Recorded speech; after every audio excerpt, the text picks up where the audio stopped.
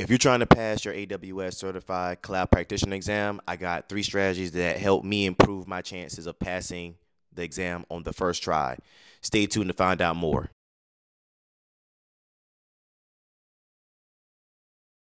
What's up everyone, it's your boy again, the Tad IT here with another video. So in today's video, we're gonna talk about the three strategies I use to pass my AWS Certified Cloud Practitioner exam. So let's just just jump into it, right? So uh, the reason why I'm explaining the reason why I went ahead and went and got the exam or when I you know took the exam. So I'm trying to get more into cloud computing. Um, I'm seeing that the not the new wave, but I've seen that the industry, the IT industry, is heading more in that direction. More of the services provided that was on prem or on premises are now going into the cloud a lot of IT related jobs are starting to go towards um, like cloud implementation, cloud infrastructure. So now you have to start knowing a little bit about uh, coding, software development a little bit now, which with my background, um, I was a computer science major at the University of South Carolina. So that kind of helped a little bit along with my um, finishing my degree at ECPI University in cybersecurity. Um, some of the classes I've taken were related to cloud and um, also programming. So C++ and Python programming to name a few. Also, just my all around like um, hobbies towards just learning more about software development, learning more about Python, learning more about cloud. I did take my first cloud exam was the Azure AW, yeah, the Azure uh, Microsoft Fundamentals. I say AW, but yeah, it was the Azure Fundamentals exam. Uh, I did a video way back when a few years ago. Um, I recorded my experience with that, the AZ900. Um, I passed on the first, the second try. The first time I didn't pass due to um, taking the wrong exam. I took the wrong exam and wondered why I didn't pass. But the first, technically, my first try taking the exam, but my second time taking a exam related to Azure. Um, I passed the first time, but I kind of moved to AWS. I feel like the industry is uh, more industries are going towards the AWS cloud. Um, AWS being the bigger um, cloud provider and the longest running cloud provider. So that's why um, that's the reasons why I went towards AWS and why I went to cloud in the first place. So the three strategies I use, so I use to increase my chances of passing. So the first one um, was I watched the free and pay sub training on AWS site. So what I did was I went on the AWS uh, or Amazon's website and I made a free account. Um, usually you could use your Amazon account that you use to order, you know, stuff off Amazon. Uh, and I basically used the free version. So there was courses that they were giving out for free on learning the AWS cloud practitioner or how to pass the cloud practitioner exam and then there were also paid ones. So I'll be honest with you, the free one was help enough. The paid one was more like solidifying what I've learned so far. So what happened, I went through the free course first and then to get more knowledge, get more detail into the exam, into what I need to know for the exam itself, like the different services they provide. I went on ahead and went for the paid subscription. It also came with labs as well really did it really helped me out. I also on top of that I also went on YouTube and I found um you can just look up AWS Cloud Practitioner Practice Exam questions, and I use that as well. Although they had practice exam questions on there as well, YouTube was a better match because you could find like a hundred. Like some of like almost a hundred questions that they would ask on the exam that was so called they would ask on the exam. So that's one strategy I use. Another strategy I used was I played with the AWS's version of the Sims to learn how to use their cloud services. So they have a thing, um, I forgot the name of it. I put up on my screen um, in this video, and I put a link in the description as well. So basically, what it was, it was like if you ever played Sims, right, back in the day, where you had like you know you build this person, you play as this person in this Sims world, right? So they have something similar to that. Your cloud practitioner and they give you certain tasks that you can do um, for certain businesses. You know, maybe a hotel, you have to set up their website on AWS, or you might have to set up an EC2 instance for a file server for a certain business, or I think one of them was like setting up like dynamic DB, so learning about databases, right? Setting up a database so they can store some of their customer information. So it was different tiers and they were different um they were labs basically. So like they'll walk you through step by step how to set everything up. Um and you just learn as you go. You learn as you go when you're putting the information, you're learning about EC2 instances, how to set one up, how to set a server up in the cloud, how to work with Elastic, uh, uh, uh not Elasticsearch. I can't remember off the top of my head, man. But there's so many services Amazon provides, like DynamoDB, um, EC2 instances. Uh, another one that was um, Amazon Lambda. So dealing with like if you're running short pieces of code, like Amazon Lambda will be the one. Um, Amazon Kinesis Firehose so many services. Amazon Lex, which was a little bit they they touched on it a little bit, but not as much. That Amazon Lex is dealing with AI, putting um artificial intelligence in your in your software. Um, there was so many different like not challenges, but so many different. Uh, was I, I say challenges within that game that you learned a lot how to set everything up. So like with that being said, I would prefer using um, going on AWS, the website, or Amazon's website, and you will look up their. Um, it's like I said, it's a game. It's called Cloud something. Um, they have, like I said, it's a Sims version of their way of basically teaching you how to become a, a cloud practitioner within networking, being in sysops, being in um, which is system administration within cloud, DevOps. Uh, it's just so many different database administrator running databases within the cloud and everything. So that was another way. That's my second strategy on how I learned. I just played the game, and I learned more about how how to become a cloud practitioner. Um, my third, and I think my most important one, I created labs to play around with and made projects. So what I've done, simple as just going on YouTube and just put in AWS projects. Um, one project I did was I host a static website in the cloud. I basically spun up an EC2 instance well, no, I didn't even spin up an EC2 instance. The only thing I did was um, I did uh, a file server, a file. I set up a file system that's in the cloud. I stored an index file, you know, index HTML file up in in the file system.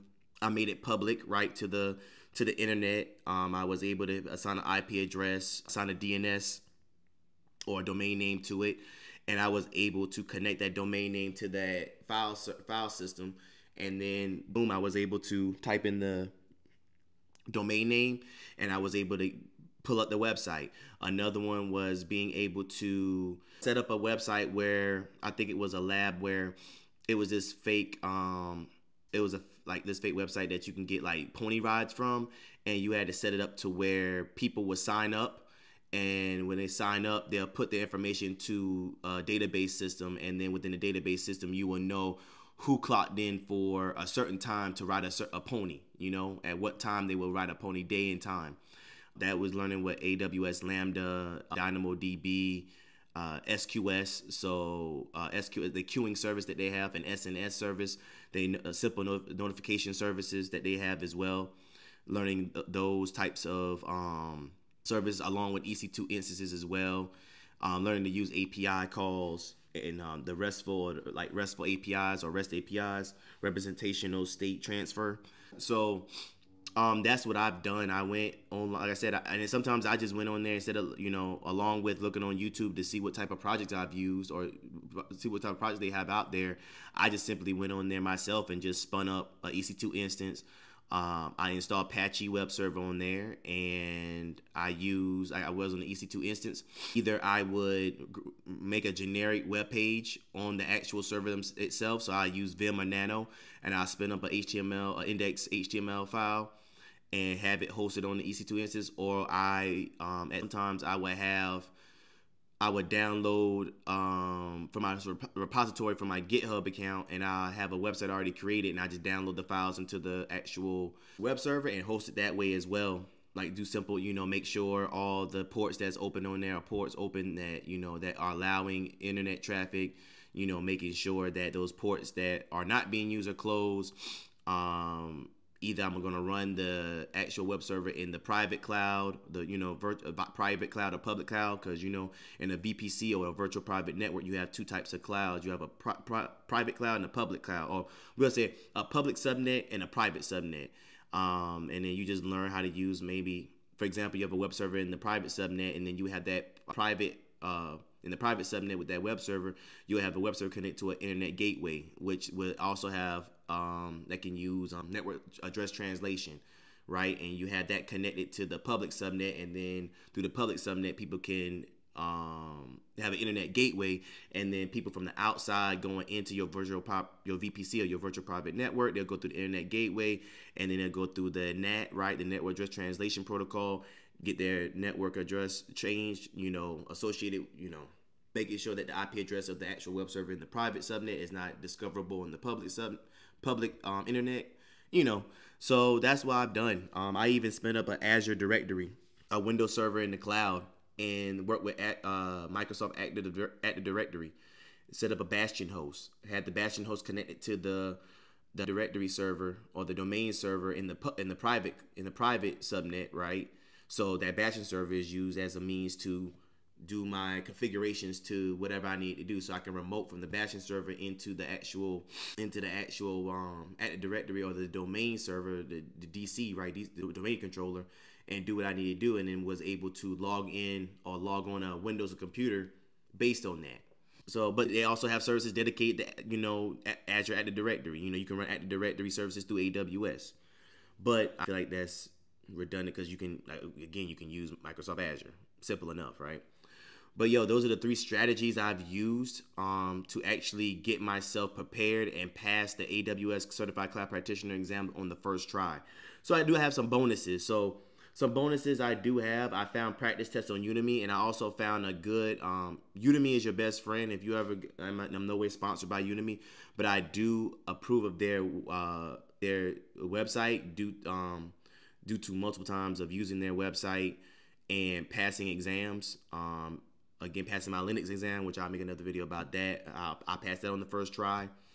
Um, but Udemy is a good website, especially preparing for the AWS uh, Certified Cloud Practitioner exam. They do have a lot of courses on there based on that and a lot of practice tests. So only thing you have to do is just look up AWS Cloud Practitioner exam and um, there's a French person that does a real good job Stefan, Stefan, um, that's his name, Stefan.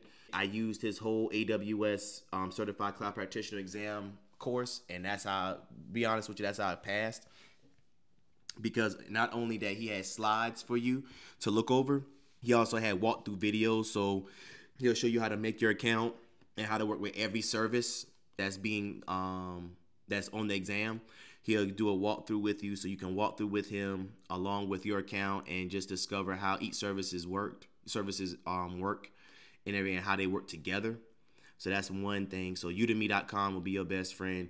And another thing was again um, labs, but along with that, I did dedicate two hours of studying a day, and I think I it took me maybe three to four. I say at least um three to four weeks for me to prepare for the exam just because it was my first time dealing with AWS. So it took me three to four weeks. Again, I studied two hours a day. Um, they were consecutive some of sometimes, but like on weekends I take time off and just get away from it and everything.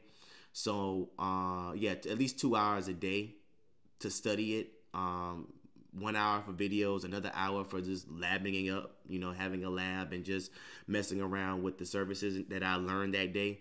So that was a really big help as well. But yeah, um, yeah, that's about it. That's what I've used to how that's all I've used to pass and get certified as a cloud practitioner through AWS on the first try. I hope you enjoyed this video. I hope this video was very informative for you and I hope it gave you a lot of value.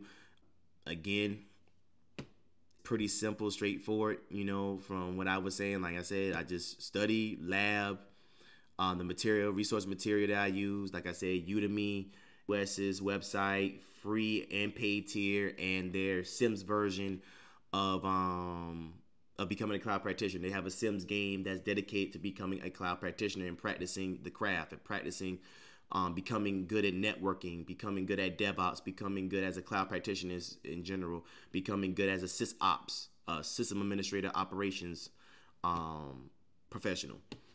So yeah, again, um, thank you for listening. Hit the subscribe button down below if you want to see more materials, see more content.